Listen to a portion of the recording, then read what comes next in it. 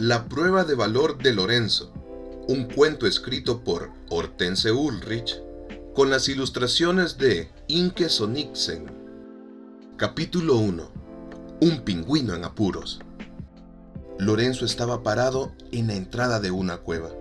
Miraba hacia afuera con cautela. La situación era muy peligrosa. Si las gaviotas piratas lo descubrían, sería un hombre en apuros. O mejor, un pingüino en apuros, pues Lorenzo es un pingüino. Y está bien que lo sea, ya que Lorenzo vive en el Polo Sur, y el Polo Sur es frío, tan frío como el hielo, tan frío que cala los huesos, tan frío incluso como un pingüino. Lorenzo miró hacia la izquierda, también miró hacia la derecha, luego miró hacia arriba y miró hacia... No, no miró hacia abajo. Buscaba con la mirada a las gaviotas piratas, y ellas casi siempre estaban arriba en el cielo. Lorenzo debía cuidarse de ellas. Por lo pronto, no había ninguna gaviota pirata a la vista. ¡Qué bien! Lorenzo se deslizó sigilosamente hacia el interior de la cueva podía escuchar a las gaviotas piratas que estaban en su cueva secreta del tesoro. Allí tenían una colección secreta. Lorenzo era muy curioso y también un poco valiente. Siguió cuidadosamente hacia adelante, cada vez más profundo dentro de la cueva. Te atrapé, dijo de repente una voz. Lorenzo se llevó un susto. Era Oscar. Él pertenecía a la pandilla de gaviotas piratas. A Lorenzo le habría gustado hacer parte de la pandilla de las gaviotas piratas porque quería tener un amigo. Mejor aún, quería tener muchísimos amigos. ¿Qué buscas aquí? quiso saber Oscar. Lorenzo no le contestó nada. Entonces Oscar agarró a Lorenzo y lo llevó a rastras hasta donde estaba Otto. Otto era el jefe de las gaviotas piratas. Oscar, Omar, Odín y Orión hacían parte de su pandilla. ¿Nos estabas espiando? ¿Por qué lo hacías? Dijo Otto a Lorenzo, como buscando pelea. Quiero hacer parte de tu pandilla, dijo Lorenzo. En ese momento, sin duda, se sentía un poco valiente. Otto negó con la cabeza. Eso no puede ser. Tu nombre no comienza con O. Eso lo sé, pero fíjate que termina con O. Eso no vale, opinó Otto. Pero podría escribir mi nombre al revés. Osnerol. Pero nuevamente dijo Otto. Eso no vale. Además, tú no puedes volar. Desafortunadamente, tenía razón. Los pingüinos no pueden volar y es necesario poder volar si uno quiere pertenecer a la pandilla de las gaviotas piratas. Las gaviotas piratas vuelan por todo el mundo para conseguir los tesoros que esconden en su cueva. Por eso es que su cueva es en verdad una cueva del tesoro, o por lo menos eso es lo que dicen las gaviotas piratas. ¡Anda! ¡Desaparece! Le ordenó Otto a Lorenzo. No, dijo Lorenzo, yo también quiero pertenecer a la pandilla. Otto respiró profundamente. Llamó a Oscar, Omar, Odín y a Orión. Se reunieron y se pusieron a hablar en voz baja. Lorenzo no podía entender nada. Después de un rato, Otto se volteó hacia Lorenzo. Bueno, de modo que tú quieres convertirte en miembro de la pandilla. Lorenzo asintió con la cabeza y dijo, ¡Sí! Otto sonrió maliciosamente. Entonces debe de pasar una prueba de valor.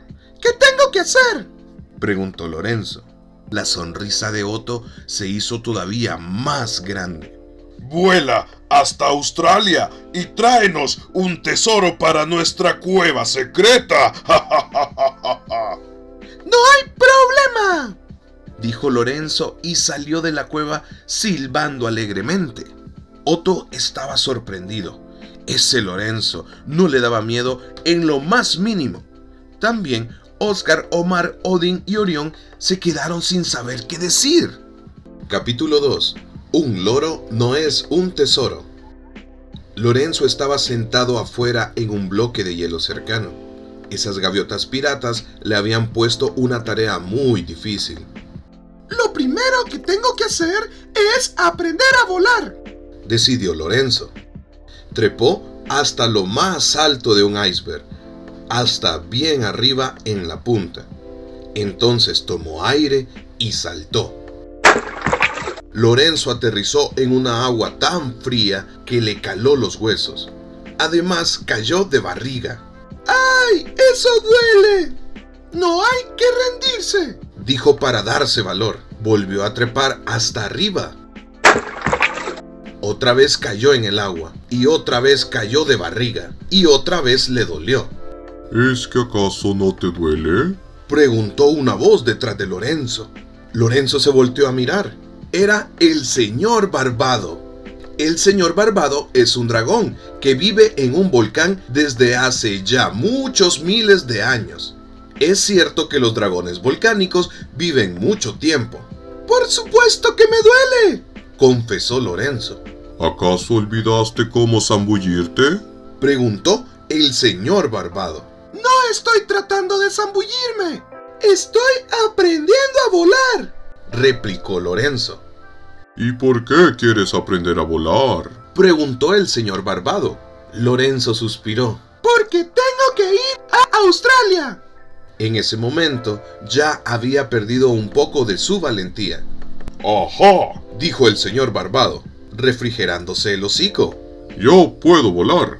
No lo creo. Los dragones son demasiado grandes, demasiado pesados y demasiado gordos para volar, afirmó Lorenzo.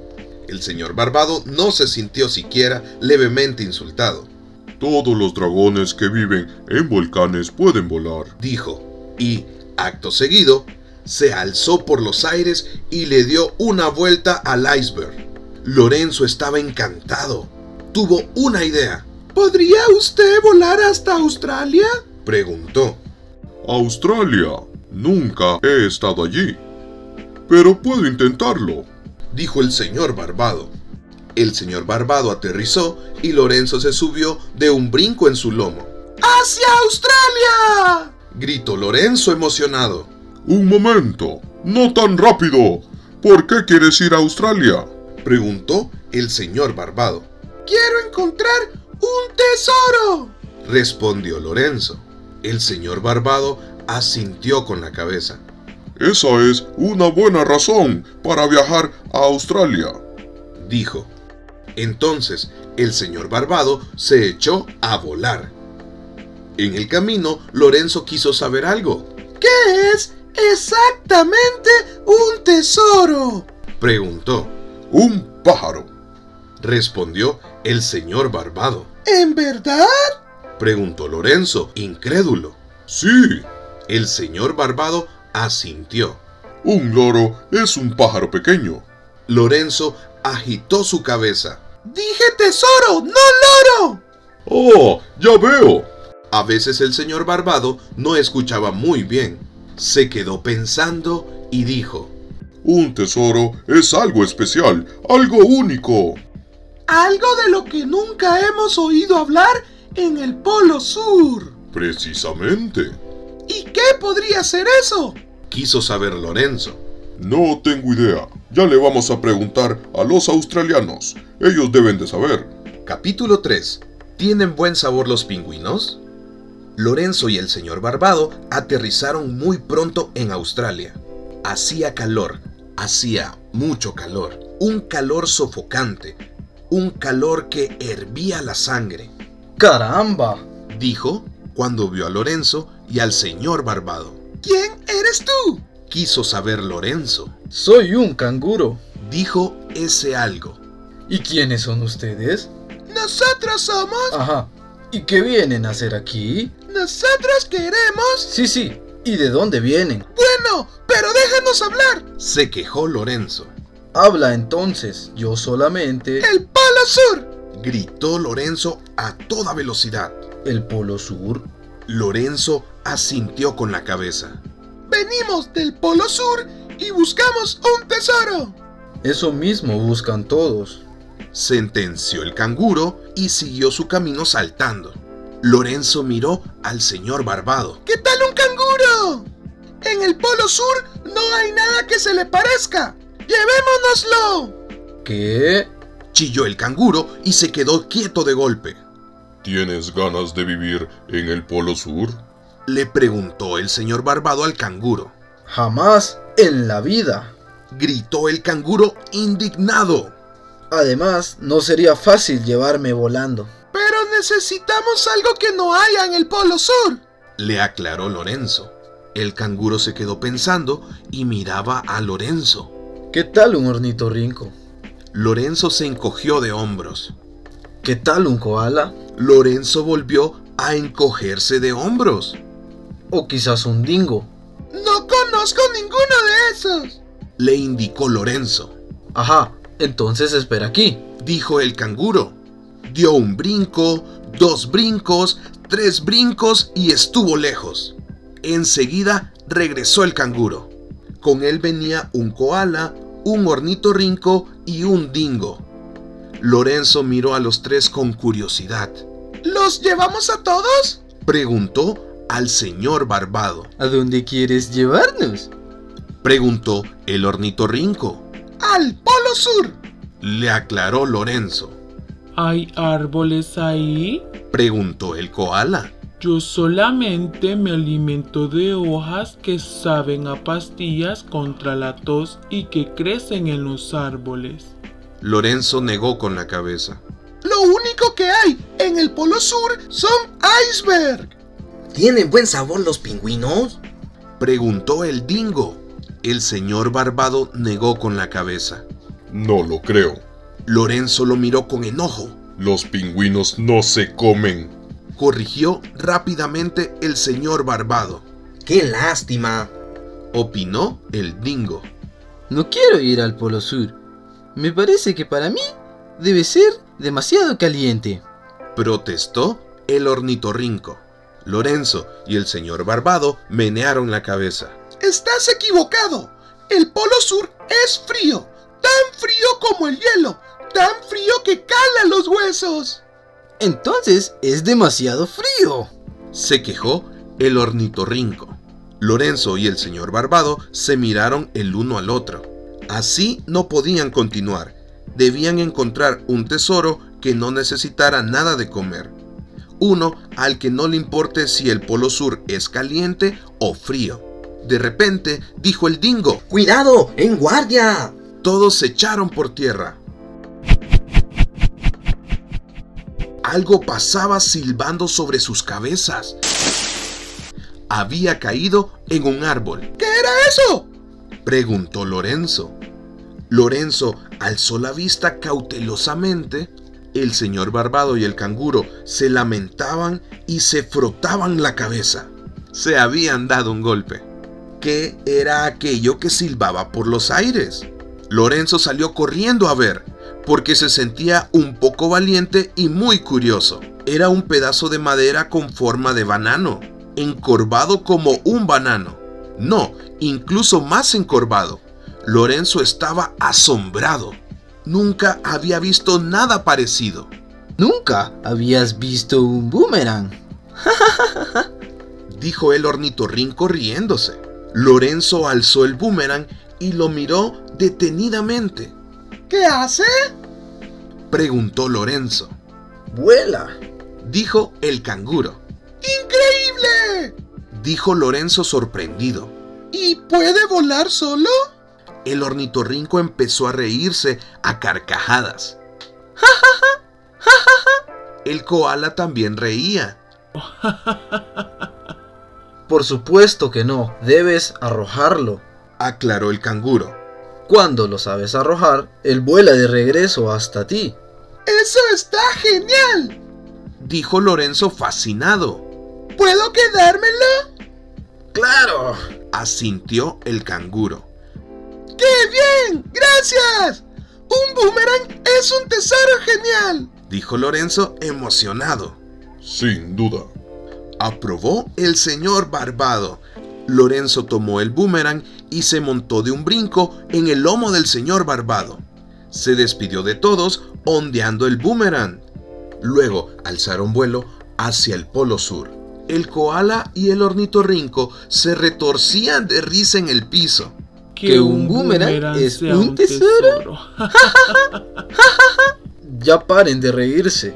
Ellos venían del Polo Sur. Les dijo el canguro con voz seria. El dingo miraba a Lorenzo y se preguntaba si quizás los pingüinos tendrían un buen sabor. Capítulo 4. Puntuales a las y pico. Apenas llegó al Polo Sur, Lorenzo corrió hasta la cueva de las gaviotas piratas. Pero, ¿qué haces tú aquí?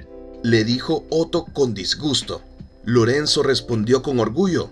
Ahora también hago parte de la pandilla. ¿Quién dice? Preguntó Otto irónicamente y sacó a empujones a Lorenzo de la cueva. Una vez afuera, Lorenzo le entregó el boomerang. ¡Toma!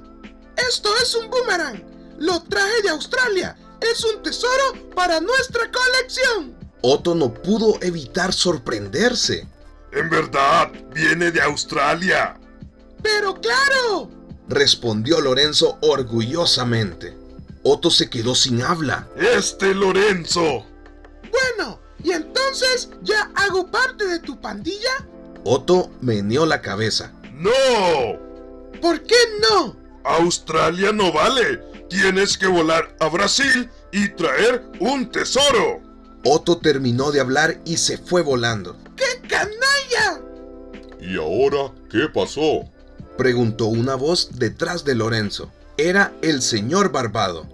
De ningún modo quiero hacer parte de la pandilla de las gaviotas piratas. En verdad que no. Mintió Lorenzo. ¿Quién necesita amigos así? Pues yo no. De ninguna manera. El señor Barbado no se dejaba engañar fácilmente. Había escuchado lo que Otto había dicho. Tienes razón. Claro que, sabes, mañana vuelo a Brasil a buscar a un primo. ¿Te gustaría ir conmigo? Lorenzo estaba encantado. ¡Claro que sí! No puedo dejar que te vayas volando solo. Muy bien. Entonces nos vemos puntuales a las y pico. Lorenzo se sentía radiante.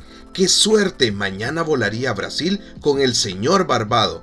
Además, le iba a preguntar al señor Barbado si quería ser su amigo y si por pura casualidad se encontrara un tesoro, entonces lo traería al Polo Sur y no haría nada más.